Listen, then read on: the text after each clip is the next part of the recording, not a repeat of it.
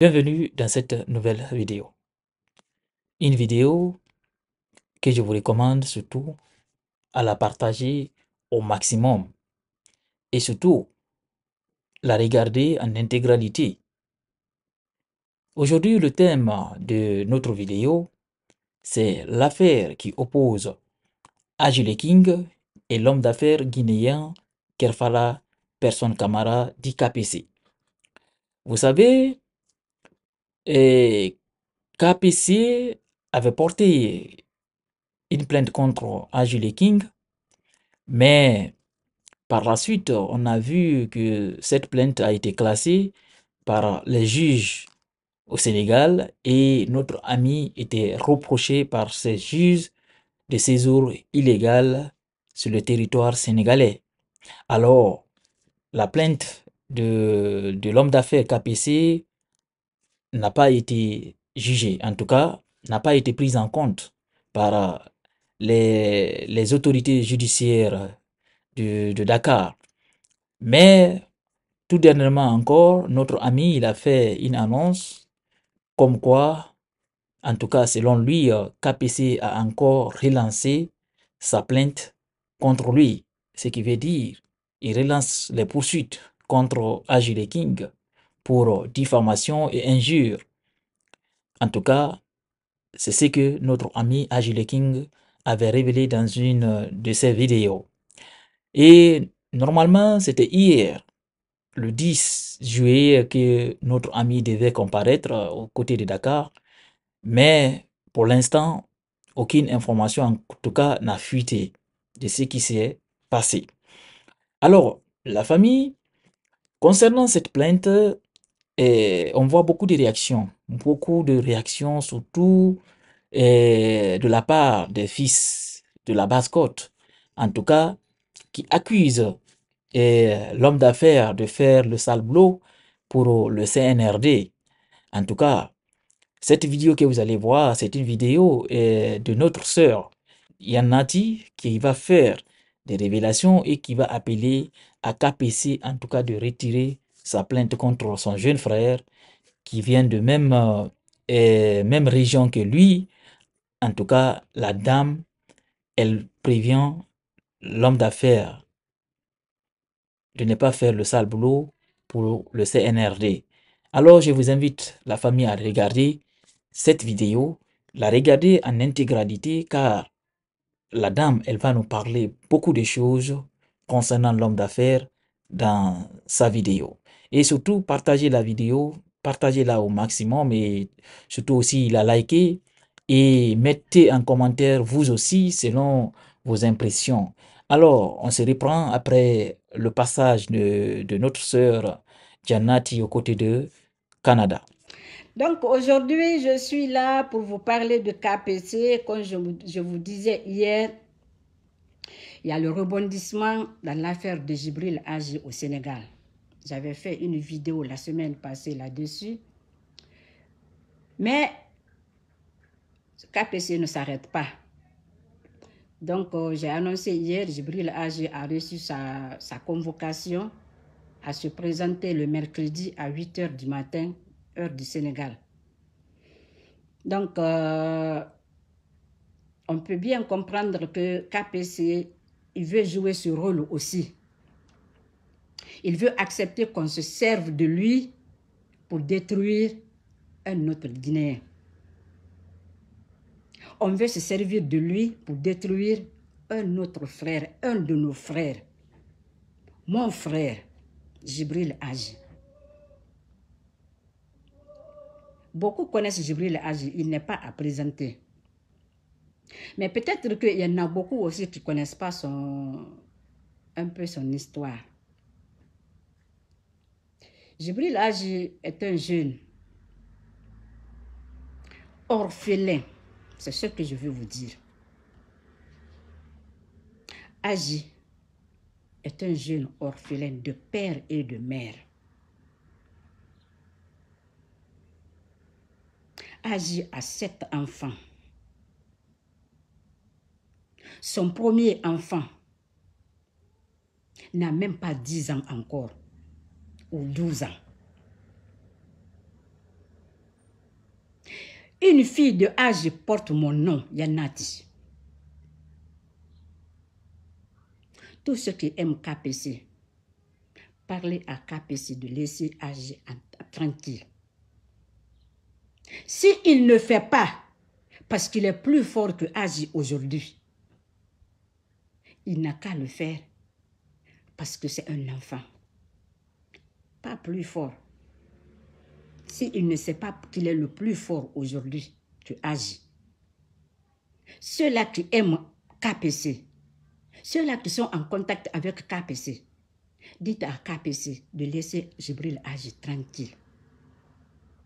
Parce que si KPC ne laisse pas Jibril agir, KPC, je vais prendre une semaine de jeûne pour toi. Wallah, billah, tallah, je vais le faire. Une semaine de jeûne pour toi, KPC, je vais le faire. Et quand je vais le faire, KPC, tu vas marcher avec la poisse. Je vais te jeter la poisse KPC. Dieu va te jeter la poisse KPC à travers moi. Parce que je vais lui parler. Je vais l'appeler. Il va me répondre KPC. Donc KPC, laisse Jibril tranquille. Sinon KPC. Sans vouloir me vanter là, je jure au nom de Dieu. En 2021, après les élections de 2020, hein, en 2020, pardon, après les élections de 2020, moi, j'étais tellement attristée, j'étais tellement, tellement énervée, tellement en colère, que je n'ai pas trouvé d'autre solution. Parce que moi, ma seule solution, c'est Dieu, Allah subhanahu wa ta'ala j'ai décidé de faire une semaine de jeûne. Et pendant sept jours-là, j'ai prié au moins quatre nuits. Je me suis levée quatre nuits, j'ai prié. Septième jour, c'était un dimanche, à la veille de lundi, la nuit du dimanche à lundi. La nuit du dimanche à lundi, j'ai fait un rêve. J'ai rêvé qu'on a attrapé Alpha Condé. Billah, Wallah, je jure au nom de Dieu. Quand j'ai vu ça, je me suis levée, j'ai prié sur le prophète sallallahu alayhi wa sallam. Et je me suis rassurée moi-même là, je me suis rassurée pour dire que c'était une question de temps que ça allait se faire. Pardon, pardon, en 2021, je suis allée en Guinée. Le matin, comme ça, là, j'étais couchée. C'est ma soeur qui est venue me dire Lève-toi. Coup d'état, on a renversé Alpha Condé. Je me suis levée. J'ai encore prié sur le, sur le prophète sallallahu alayhi wa. Et puis j'ai fait encore deux jours de jeûne. Voilà KPC, quand tu, me, quand tu me provoques, quand tu me fais du mal, ce que moi je fais, parce que je crois à Allah.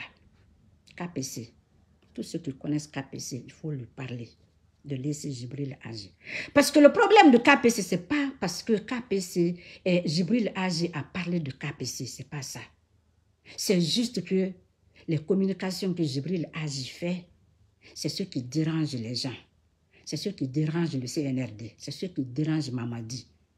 Et KPC, lui-même là, il s'est offert, c'est-à-dire qu'il s'adonne à des, à des rôles comme ça, à des sales boulots comme ça, il devient le cobaye des gens.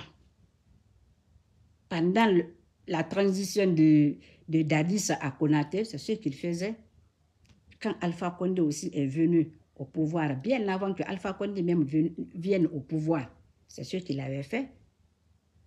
Pendant cette transition aussi, c'est ce qu'il fait.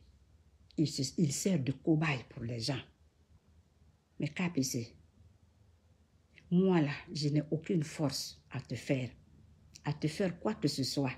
Mais Dieu, Allah subhanahu wa ta'ala, il ne dort pas. Non, Allah ne dort pas.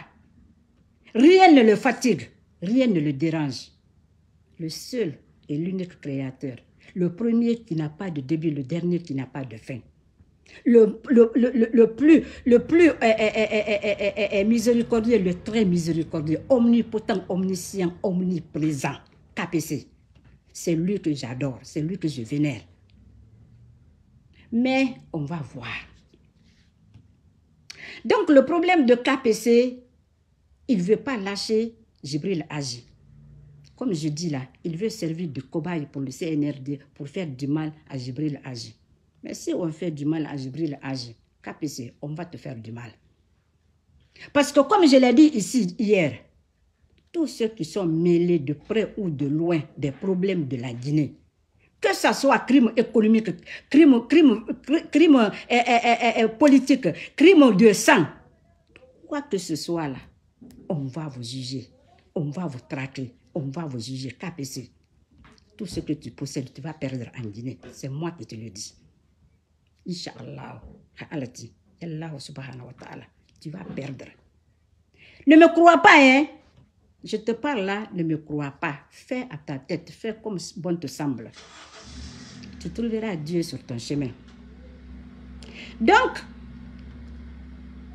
je vais dire à KPC, les problèmes de, les événements de 28 septembre, KPC est mêlé dedans.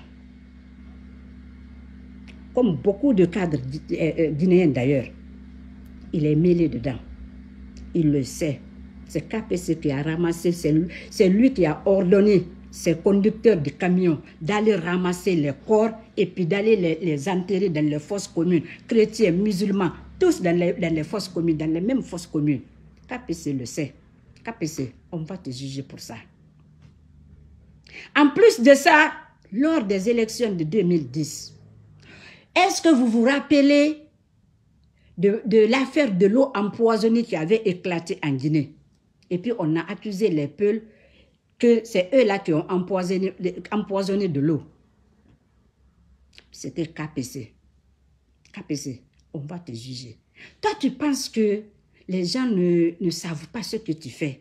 Tu penses que les gens ne se rendent pas compte de ce que tu fais, KPC. Les gens te voient. Mettez les cœurs. Je ne vous vois même pas. Mettez les cœurs, vous aussi. KPC était l'investigateur. Il a préparé, il est allé voir les autorités pour leur dire, il est parti proposer à Alpha Condé pour lui dire que ils ont une stratégie à mettre en place parce qu'ils avaient vu que l'UFD, le président de l'UFDG là, il était tellement monté, il était tellement en avance que si ça continuait comme ça là, sans faire quelque chose là, c'est sûr on allait le déclarer eh, eh, eh, gagnant des élections. Donc c'est KPC qui est parti proposer cette affaire de l'eau empoisonnée. Personne n'était empoisonné. Aucune eau était empoisonnée en Guinée. KPC a débloqué 400 millions de dollars. Et puis, il a, injecté, il a éjecté dans, dans, dans, dans, dans, dans la population pour berner les, gens, pour corrompre les gens, pour que les gens fassent le théâtre, la mamaya autour de ça les gens sont partis. Et tous ceux qui ont joué ce rôle-là, ils le savent. Quand beaucoup vont entendre cette vidéo-là, ils vont se rendre compte que oui, ce que cette dame dit là, c'est la vérité. Moi-même, là, je faisais partie de ce groupe-là. Beaucoup vont témoigner parce qu'ils le savent. Personne n'était empoisonné. Ils ont donné de l'argent par-ci, par-là. Je vous dis, la 400 000 dollars, c'est KPC qui a déboursé pour donner aux gens d'aller euh, euh, distribuer partout à Conakry. Partout. Et beaucoup avaient eu de l'argent avec ça là. KPC, on va te traquer pour ça. KPC, tu vas répondre à tes actes là. KPC, les marchés gré à gré en Guinée là, ça là, ce n'est rien. Comme je, disais ici l'autre fois, l'âme humaine, la vie d'un homme est plus que toute ta fortune. Donc, KPC, à plus forte raison des, centaines. Parce que tenez-vous bien, Le nombre de victimes qu'on a, qu'on a annoncé là, pour les, euh, dans le compte des, des, des événements du 28 septembre là, le nombre dépasse ça. KPC le sait. KPC le sait. KPC sait que le nombre dépasse les 157 personnes. Mais si on juge euh, les dadis aujourd'hui pour 157 personnes, mais c'est sûr que KPC, ce que le rôle que tu as joué là, on va te traquer, on va te, te trimballer devant la justice. Mettez les cœurs. Mettez les cœurs, non? Donc, KPC, ce que tu veux servir pour CNRD, libre à toi, tu peux le faire. Mais si tu le fais, que quelque chose arrive à Jibril Agi, quelque chose arrive à Jibril Agi, KPC, je jure au nom de Dieu, KPC, je vais t'anéantir en Guinée, c'est moi qui te le dis. Je vais t'anéantir en Guinée. C'est moi qui te le dis. Crois-moi, si tu veux partager cette vidéo-là pour que KPC voit cette vidéo, s'il vous plaît. Et puis, comme par coïncidence, là, la première vidéo aussi que j'avais faite là pour, sur KPC, c'est la même tenue que je portais, mais différentes couleurs. L'autre, c'était jaune, ça là, c'est orange. Donc, euh, KPC, tu vois la coïncidence de Dieu tu vois un peu la coïncidence? KPC, je vais t'avoir, c'est moi qui te le dis. Je vais t'avoir. KPC n'est pas à sa première expérience, c'est-à-dire de, de, saboter les foyers des gens ou bien que de, de gâter le, le mariage des gens. Non, il n'est pas à sa première expérience.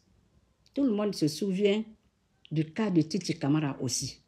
KPC sortait avec la femme de Titi Kamara aussi. Ce qui est arrivé dans le couple de Charles White, c'est le même problème qui était arrivé avec Titi Kamara aussi. Tout le monde peut témoigner, tout le monde avait entendu cette, ce scandale-là aussi. Mettez les cœurs, vous aussi. Mettez les cœurs. Tout le monde avait entendu ce scandale-là aussi en Guinée. Et finalement, Titi Kamara s'est séparé de sa femme. Le problème de Charles White aussi est venu. Mais ce que KPC ne dit pas, c'est qu'il y a un chanteur, je l'avais dit ici hier, un chanteur, un artiste qui a chanté pour KPC en Guinée. Pour faire plaisir, ou bien il avait déjà, il avait déjà, eh, eh, eh, comme, comme c'est vu sur la femme du petit, du gars, il propose d'acheter le, le, billet pour la femme, bon, la prendre en charge pour la faire voyager pour Dubaï. Il envoie la femme là-bas, KPC prend l'avion, il s'en va à Dubaï. Il se rencontre là-bas avec la femme. Il a mougou la femme là très bien comme il voulait. KPC a mougou la femme là bien comme il voulait. Je ne vais pas dire leur nom ici. C'est les petits du gars là, de l'artiste, qui ont vu KPC en compagnie de cette femme. Et puis les enfants, les jeunes lui posent la question, eh mais ça c'est la femme de grand. Non, c'est juste par coïncidence qu'on s'est retrouvé ici, là. Moi, je suis venu pour autre chose, là, alors que c'était du mensonge. C'est lui qui avait fait voyager la fille. Et puis, ils se sont rencontrés là-bas. Il n'est pas à sa première expérience, ni sa deuxième. Donc, les jeunes là ont appelé leur grand en Guinée, lui faisant le compte rendu, et après, ça fait un scandale, boum, comme euh, celui de, celui de Charles White. On vient informer l'artiste guinéen comme quoi KPC passait la nuit dans la chambre de sa femme. Ils étaient ensemble, ils faisaient des courses à Dubaï ensemble. Et puis voilà, le scandale arrive. Et puis KPC a déboursé des milliers de dollars pour étouffer l'affaire. Donc KPC n'est pas à sa première expérience. Ça, il a pu éteindre ce feu-là, étouffer ce scandale. Mais pour Charles White, il n'a pas pu. Pourquoi? Parce que La femme de Charles White même voulait que ça soit, ça soit étalé au grand jour, que ça soit sur les places publiques. Donc elle aussi, là, elle s'est arrangée, elle a tout fait pour que ça soit comme ça. Et puis voilà. Ce que je ne comprends pas avec les femmes, toi tu vois un homme marié, l'homme, il ne quitte pas sa femme pour toi, toi tu vas quitter ton mari pour un homme marié. Pour un homme marié, qu'est-ce qu'il va faire pour toi et puis qui va faire que toi, tu vas quitter ton foyer, tes enfants, ta vie conjugale et puis pour quelqu'un comme KPC. Un prévenu comme KPC. KPC ne connaît pas la vie. KPC n'a pas blagué. KPC a grandi comme ça. Moi, je connais la vie de KPC. KPC, si tu ne laisses pas agir.